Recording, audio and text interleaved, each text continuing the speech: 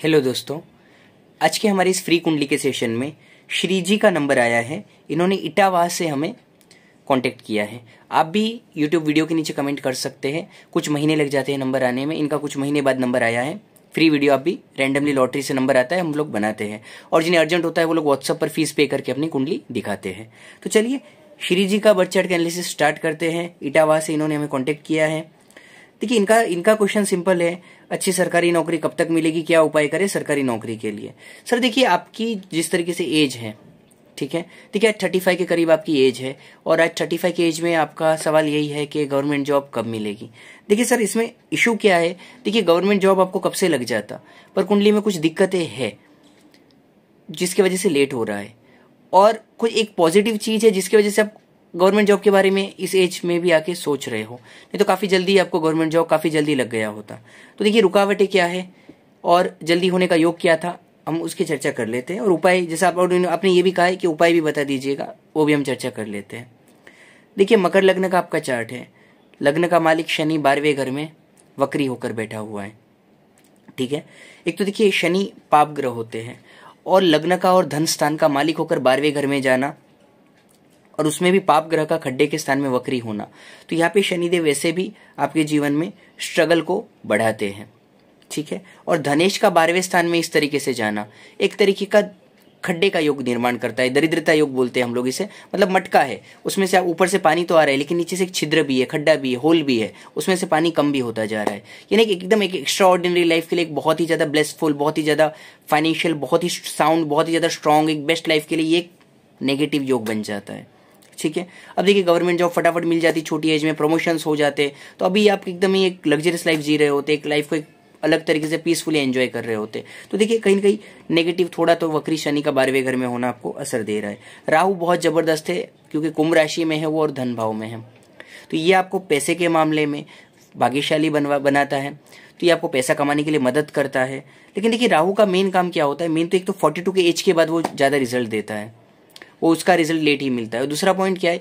कई बार वो सीधे रस्तों के बजाय उल्टे सीधे जो रास्ते होते हैं इलीगल काम होते हैं, जो गवर्नमेंट के लिए इलीगल यानी हमेशा बहुत ज़्यादा नैतिकता से भी गलत नहीं होता है, लेकिन जैसे गवर्नमेंट के लिए कुछ गलत होता है, वो भी इलीगल में आता है। जैसे हम किसी का लोग टैक्स चोरी करते हैं, ये करते दो नंबर का पैसा एक नंबर में करते हैं किसी का गलत नहीं होता है, लेकिन लीगल नहीं है। तो जो भी इलीगल चीज़ें होती है, राहू में आती हैं।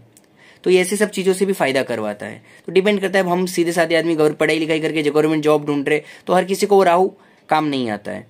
उल्टे सीधे काम करने वालों को राहु, ऐसा राहु ज़्यादा फलता है। अब देखिए थर्ड हाउस में आपका मंगल है। तो थर्ड हाउस का मंगल आपको साहस तो बहुत देता है। और चौथे घर का मालिक है आपकी कुंडली में यह मंगल। तो देखिए चतुर्थेश होकर और लाभ भाव का भी मालिक है। थर्ड हाउस में गया है।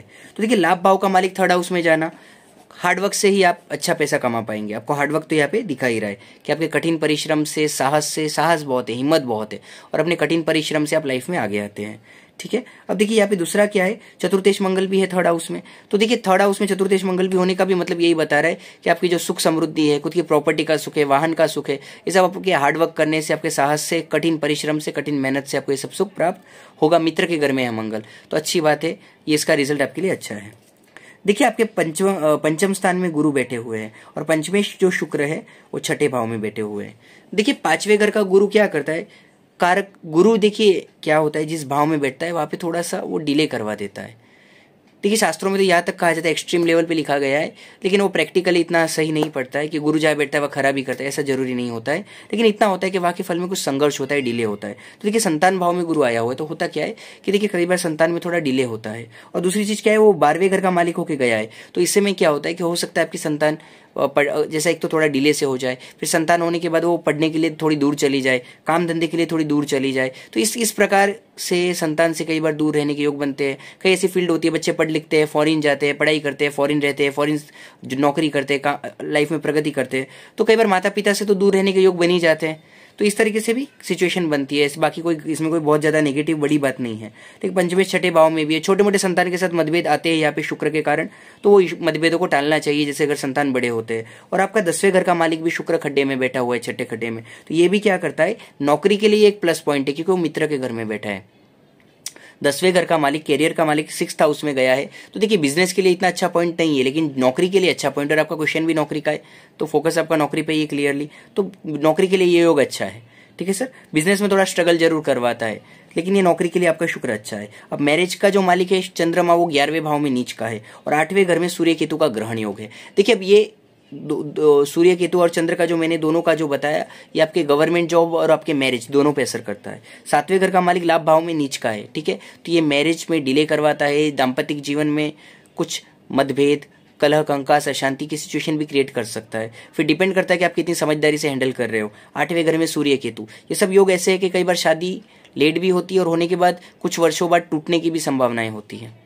लेकिन अगर इसमें, देखिए, सौ टक हंड्रेड परसेंट टूटेगा ही, ऐसा ज़रूरी नहीं होता है। अगर शादी से पहले कुछ उपाय कर लिए जाए तो बचाव होता है। लेकिन, और कुछ लोग मेच्योरिटी के साथ समझदारी से अगर लेट गो करके निभाने वाले जो होते हैं, वो लोग निभा लेते हैं। पर देखिए, हर कोई इतना लकी नहीं होता है। तो जो नेगेटिव है, वो बताना ज़रूरी है। ठीक है? और देखिए, दूसरी बात क्या है सूर्य केतु का नेगेटिव में? कि सूर्य स्वग्रही तो हुआ था, इसलिए आपका रुझान, जो आपका इंटरेस्ट है गवर्नमेंट जॉब की तरफ़ जा रहा है। लेकिन सूर्य केतु के साथ ग्रहण योग में है। तो ये भी एक गवर्नमेंट जॉब फटाफट इजीली मिलने के लिए नेगेटिव योग है। आदित्य हृदय स्त्रोत्र का पाठ डेली चालू कर दो डेली पाँच बार पढ़ो। डेली पाँच बार आदित्य हृदय स्त्रोत्र का पाठ करो, फ़ायदा होगा। और डेली जो स्ट्रीट डॉग्स होते हैं, कुत्ते होते हैं, उन्हें दूध पिलाओ, फ़ायदा होगा। और यहाँ पे है ना एक अच्छी क्वालिटी का, एक अच्छी क्वालिटी का यहाँ पे पन्ना रतन और ओपल रतन। एक अच्छी क्वालिटी का पन्ना और ओपल रत्न बना के पहनो, इससे आपको काफ़ी फ़ायदा होगा जॉब में, पैसे में लाइफ में, हर क्षेत्र में आपको काफ़ी फ़ायदा होगा। अच्छी क्वालिटी का पन्ना पहनना है और एक अच्छी क्वालिटी का ओपल पहनना है। बहुत फ़ायदा देखने को मिलेगा आपको। और देखिए, जो ग्यारहवा भाव है, वहाँ पे चंद्रमा नीच का है तो हो वही रहा है, जितनी मेहनत करते हो, उसके सामने जो इनकम एक्सपेक्ट कर रहे हो, वो लेवल मिल नहीं पा रहा है। जो इनकम एक एक्सपेक्ट कर रहे हो, वो इनकम हो नहीं पा रही है। है ना, जो डिजर्व करते हो, जो इतने सालों से कुछ मेहनत कर रहे हो, वो इनकम मिल नहीं पा रही है महीने की, जो मंथली इनकम ईयरली इनकम होनी चाहिए, वो सेटिस्फेक्शन आपको देगी नहीं कभी भी, ठीक है? और इसके कारण क्या होता है के स्वभाव में थोड़ा सा गुस्सा, चिड़चिड़ापन एक्स्ट्रा बननेस जिद्दीपना, ये सब चीज़ें भी आ जाती है। और देखिए, बारहवीं घर में शनि वक्री है तो कहीं ना कहीं स्वास्थ्य के लिए भी आपको ध्यान रखना होगा। वैसे भी थर्टी फाइव के करीब आप पहुँच रहे हैं। ठीक है तो थर्टी सिक्स के बाद वैसे भी शनि एक्टिव होते हैं। तो जैसे थर्टी सिक्स के बाद आपकी जो एज है फोर्टी की तरफ़ आप जाएँगे फोर्टी से फिफ्टी का एक सफ़र शुरू होगा फिफ्टी से सिक्सटी का सफ़र शुरू होगा। तो देखिए फोर्टी से फिफ्टी का सफ़र शुरू हो रहा है तो जैसे थर्टी सिक्स के बाद जो शनि का समय चालू हो रहा है तो हेल्थ के लिए यहाँ से ही अभी से कुछ योग, प्राणायाम एक्सरसाइज जिम कुछ भी एक हेल्दी लाइफस्टाइल अभी से सोच लीजिए। तो क्या है? आप हेल्थ के लिए भी आपके लिए ज़्यादा बेहतर रहेगा। नहीं तो ऐसा शनि आगे जाके, जैसे मैंने कहा कि थर्टी सिक्स के बाद वैसे एक्टिव होता है तो फोर्टी के बाद फिफ्टी के बाद, वो छोटे छोटे हेल्थ इश्यूज़ हेल्थ इशूज छोटे छोटे वो पैदा करेगा। और वो छोटी छोटी चीज़ें फिर जैसे जैसे एज बढ़ेगी, कुछ ना कुछ कहीं ना कहीं आपको परेशान करती रहेगी। तो देखिए, जो कुछ छोटे छोटे उपाय मैंने बताया रत्ना बताया, मैंने कुछ आपको पढ़ने के लिए, जो जाप बताया, ये सब उपाय आप करिए, इससे आपको काफ़ी फ़ायदा होगा। और हेल्थ का कभी इशू लगे तो 21 शनिवार के व्रत कर लेना। कंटिन्यू ज़्यादा भी कर सकते हैं। इक्कीस तो कम से कम होता है। दो साल, पाँच साल, दस साल पूरी ज़िंदगी हेल्थ के लिए आप शनिवार के व्रत कर सकते हैं। और गवर्नमेंट जॉब और सक्सेस के लिए एक बार सूर्य की इक्कीस व्रत कर तो करके, कर ही लेना। हेल्थ के लिए उसका भी एक इशू आ रहा है। सूर्य केतु का भी एक इशू सूर्य केतु का भी एक इशू आपके हेल्थ के लिए आ रहा है तो इक्कीस व्रत तो कम से कम रविवार के आपको कर ही लेना चाहिए, ठीक है? तो चलिए, ये था श्री जी श्री जी का बर्थ चार्ट का एनालिसिस इटावा से जिन्होंने हमें कांटेक्ट किया था, आप भी यूट्यूब पर कमेंट कर सकते हैं, कुछ महीनों में नंबर आ जाता है।